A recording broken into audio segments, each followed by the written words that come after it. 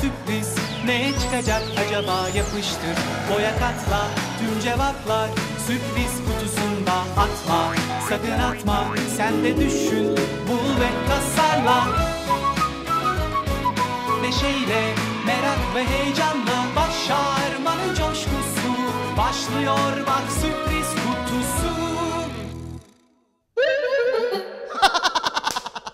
Çok komikmiş dönüştüratör. Demek sonunda öyle oluyor. Ben zaten çok seviyorum çizgi film seyretmeyi. Biliyorum sen de seviyorsun.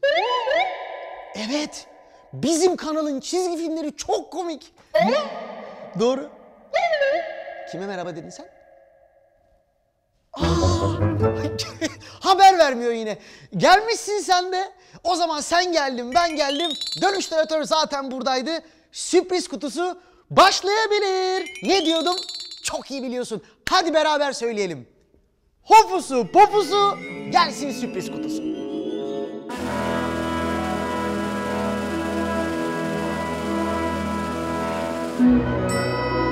Evet. Dönüştüratör teşekkür ederim. Sürpriz kutum geldi. Artık sürpriz kutumu açabilirim. Çok heyecanlıyım. Hemen çatımı açıyorum. İçinde akrilik boya. İki tane. Tamam. Peki çatımın diğer tarafında ne var? Hemen bakıyorum. Aa, burada da akrilik boyalar. Hem de rengarenk. Kutumun sol tarafındaki çekmecemi açıyorum. Belki anahtarı oradadır. Ah, mandal. Dönüştüratör. Çamaşır mı asacağız yoksa? Dört tane, beş tane mandal. Bu ne? Oynar göz. oynar gözü çok seviyorum. Hatta burada hem mavi hem kırmızı oynar göz var. Şimdi buradan açıyorum. Diğer çekmecemi. Evet burada karton parçalarım var. Ve işte anahtarım. Şimdi bu anahtarımla ne yapıyorum? Evet sevgili arkadaşım sürpriz kutumun kapısını açıyorum. Bakalım içinde ne var? Evet. Aa bir şey var burada. tahta kaşık. Ne güzel. Evet bir tane daha tahta kaşık olsaydı ne yapardım ben? Silifke'nin yoğurdu, kız seni kimler doğurdu diye Silifkelilerin bir tane halk oyunu var. Onu oynardım. Evet dönüştüratör. Doğru. O orada böyle geleneksel bir halk oyunu. İki tane kaşık böyle çıkkıtı çıkkıtı çıkkıtı çıkkıtı böyle halk oyunu oynuyorlar. Evet onlara özgü. Doğru. Dönüştüratör. Peki bir şey söyleyeceğim. Sanki biraz az malzeme çıktı gibi geldi bana. Ben bunlarla ne yapabilirim ki? Aklıma şu an hiçbir şey gelmedi. Ha, yeter de artar bile diyor. Tamam göreceğiz bakalım. Renk renk akrilik boyam var.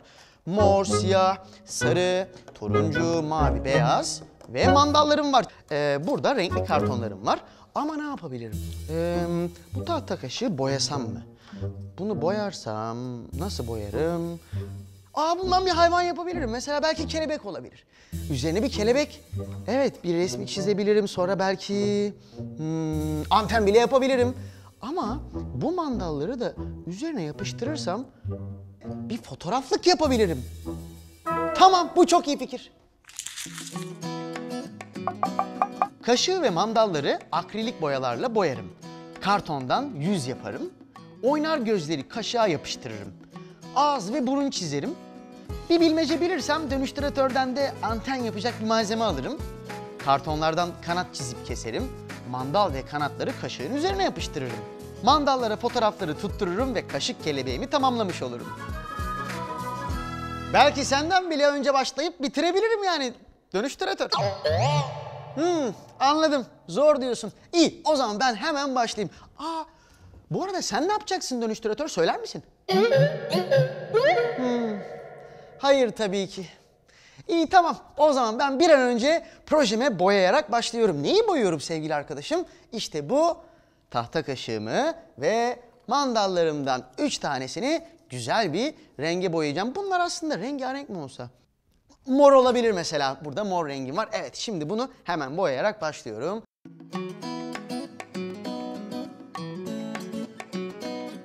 Evet kaşığımı çok güzel boyadım. Şimdi şuraya kuruması için koyuyorum. Sıra nerede? Şimdi rengarenk yapacağım mandallarım var.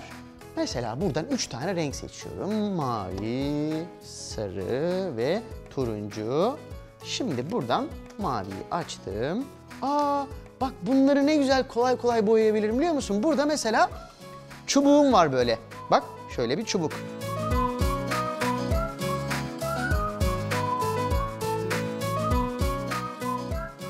Turuncu mandalım da tamam gibi.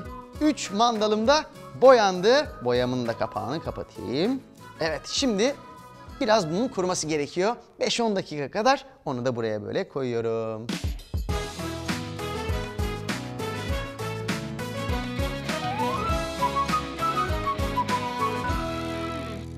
Evet sevgili arkadaşım şimdi kanatları yapıyorum. Burada kartonlarım var. İki tane sarı, iki tane de pembe.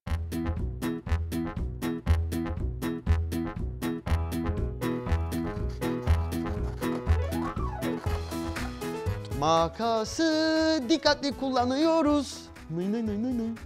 Evet şimdi çünkü makas kesici biliyorsun tabi. Artık zaten uyarmıyorum bazen. Sen biliyorsun. Akıllısın çünkü. Şimdi bak artan parça bu. Geri dönüşme. Atıyoruz bunu. İşte sevgili arkadaşım iki tane kanadım hazır. İkisi de çok güzel ama bunun içine biraz renk olsun istiyorum.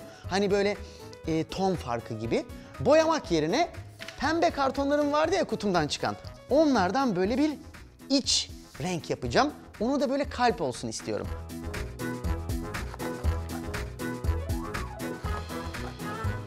Şimdi bunu birbirine nasıl yapıştıracağım? Aslında mum yapıştırıcı daha iyi olur.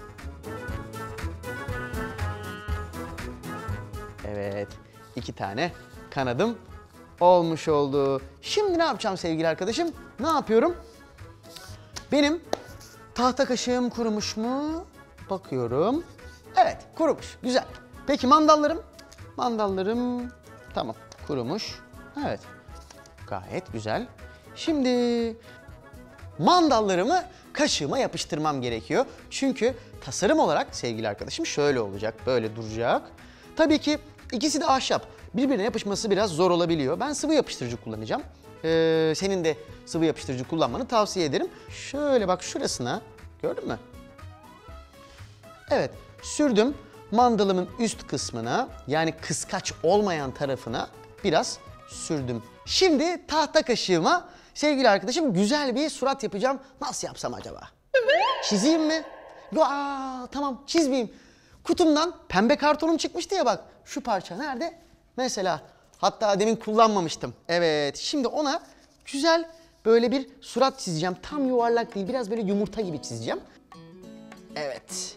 Şimdi bunu pembe kartonumdan keserek çıkarıyorum.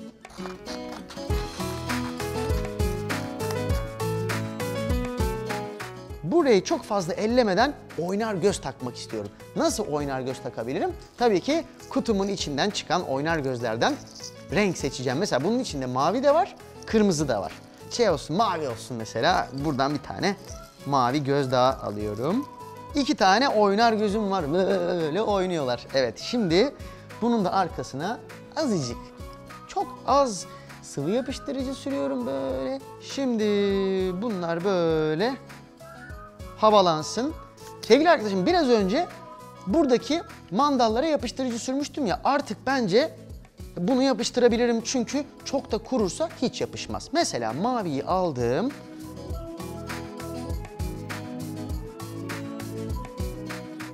Şimdi bu şurada dursun.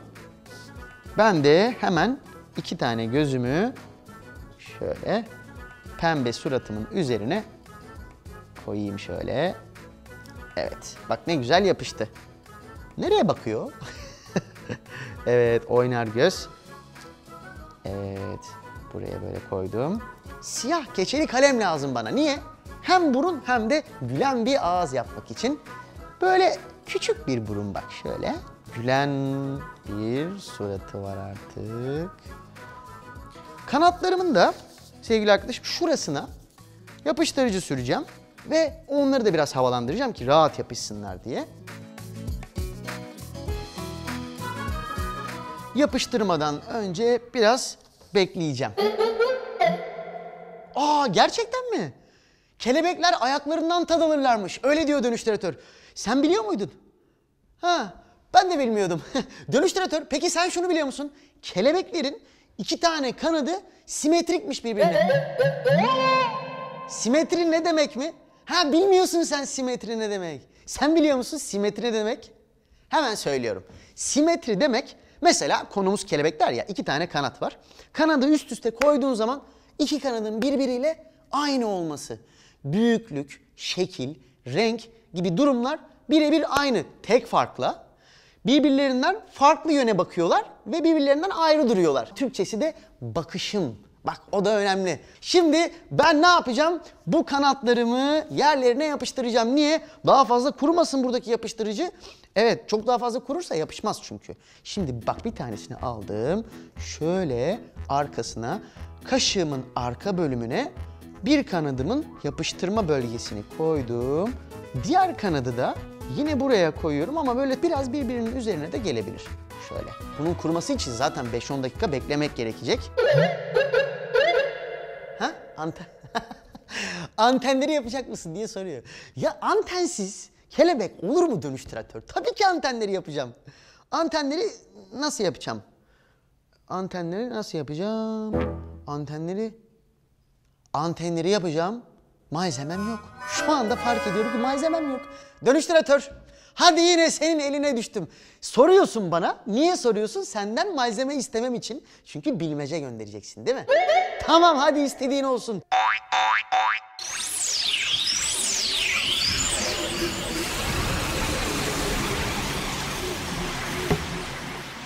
Evet, her zamanki gibi en sevdiğim şeylerden biri bilmeceler ve ben tabii ki çoğunu biliyorum. Hatta hepsini biliyorum. Çünkü bilmeceyi çok seviyorum. Bakalım içine ne yazmış dönüştüratör? Elimde bir direk, üstünde bir çatı. Ben giderim, o gider. Başımda gölge eder. Lazım değilse kapatırım. Ne yanarım ne ıslanırım. Ha, üstünde bir çatı. Çatı mı taşıyor üzerinde? Kiremitli falan böyle koskoca çatım var. Olmaz nasıl taşırım ben? Ha, öyle değil diyorsun. tamam bir dakika başımda gölge eder. Başımda şapka mı? Yağmur, yağmurluk mu? Yağmurluk olabilir. Yok yağmurluk değil. Aa tamam. Şey e, üstümde gider gölgeden de koruyor. e, ıslanmaktan da koruyor. Dilimin ucunda şey Heh doğru bildin. Şemsiye. Evet şemsiyeli çekmecem nerede acaba? Şemsiyeli çekmece buralarda bir yerde olacak. Hah işte şurada. Nın nın nın. İşte açıyorum bakalım içinde. Tabii ki de tam dönüştüratörlük bir malzeme. Evet bir tel, ince tel hem de iki renk. Dönüştüratör teşekkür ederim. İki tane anteni nasıl yapacağım? Büyük makasımla şöyle bir parça Kestiğim parçadan bir tane daha keseceğim. Şöyle tutuyorum bir parçasını sevgili arkadaşım. Sonra böyle, böyle, böyle. Bak böyle ne kadar düzgün oldu. Elle yapsam böyle, bak olmuyor. Burası çok düzgün oldu. Şimdi bak bunu böyle hop içinden çıkardım. Bu bir tanesi. Hafif bunu böyle açabilirim biraz. Çok hafif ama. Bunları böyle buraya yapacağım böyle koyacağım, yapıştıracağım. Çok güzel oldu değil mi dönüştüratör? Teşekkür ederim. Bu arada senin projen ne durumda? Bitiriyor musun? Ha, tamam. Söylemezsin tabii. Ne yapacağını da söylemiyorsun, ne zaman bitireceğini de söylemiyorsun. Hiçbir zaman söylemiyor zaten. Tamam neyse ben kendi projeme devam edeyim. Şimdi bunu böyle buraya yapıştıracağım ama keşke...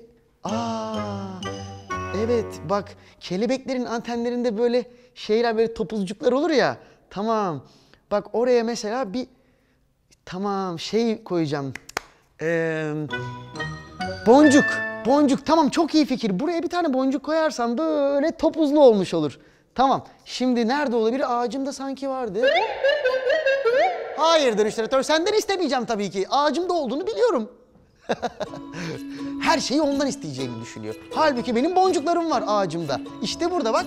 Bu boncuklar gayet işime yarayabilir. Bakalım bunlardan hangisini kullansam.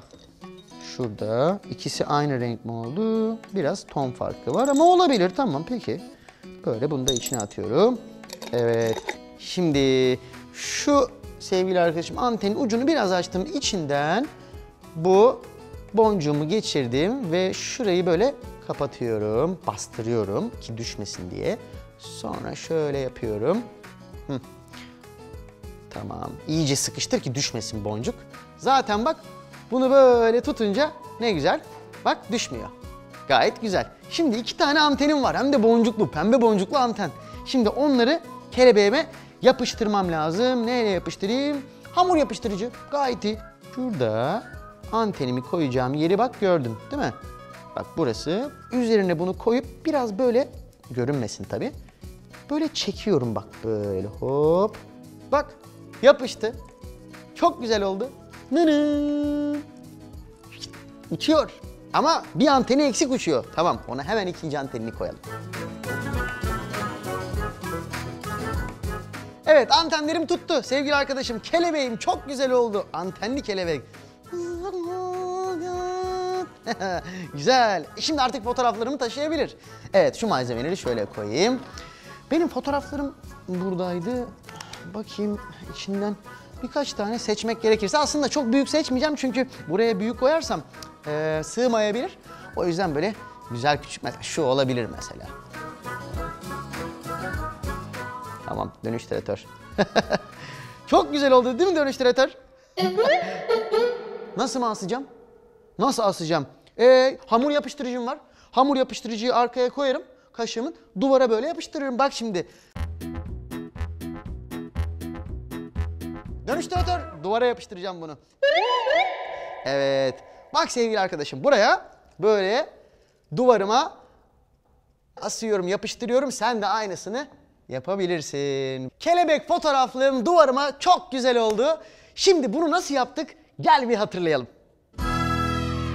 Tahta kaşığı ve mandalları boyadım. Renkli kartondan kanatlarını hazırladım. Kartondan yüz yaptım. Oynar gözleri yapıştırdım. Ağız ve burun çizdim. Mandalları ve kanatları da yerlerine yapıştırdım. İnce telden iki adet anten yaptım. Uçlarına boncuk geçirdim ve hamur yapıştırıcıyla kaşığın arkasından yerine yerleştirdim. Fotoğrafları, mandalları tutturdum ve kaşık kelebeğimi tamamladım. Dönüştüratör. Benden önce başladın ama çok merak ediyorum acaba bitirebildin mi ne yaptın? Ha, iyi tamam o zaman. Hadi bakalım göster bize ne yaptığını.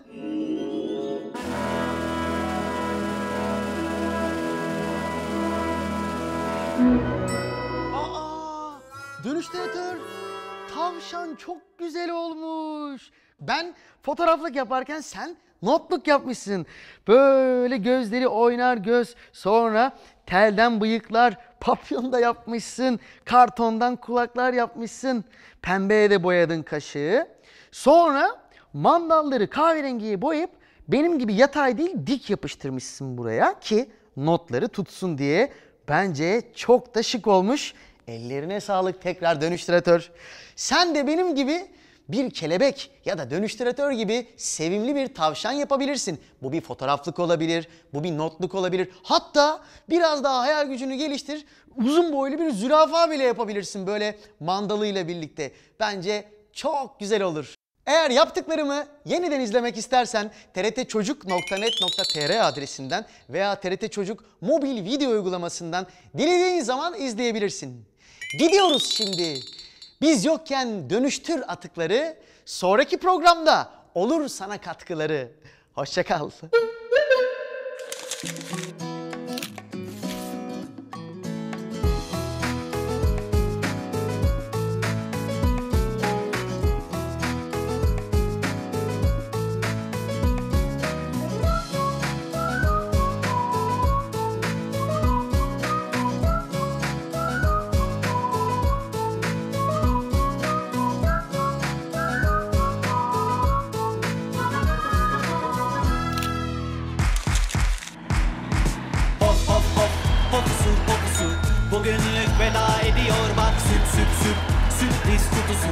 Bugünlük veda ediyor. Bugün de geldik programın sonuna Ne yapsak diye düşündük çokça. Sen de öğren şarkıyı söylersin ara sıra. Hop hop hop pokusu pokusu Bugünlük veda ediyor. Bak süt süt süt. Sürpriz kutusu